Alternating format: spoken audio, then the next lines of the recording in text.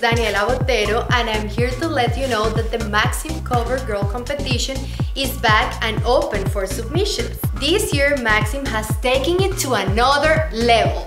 The grand prize includes a $25,000 cash prize as well as a trip to the beautiful city of Venice, Italy for an amazing Maxim magazine cover photo shoot with our world-renowned photographer Gilles Bensimon.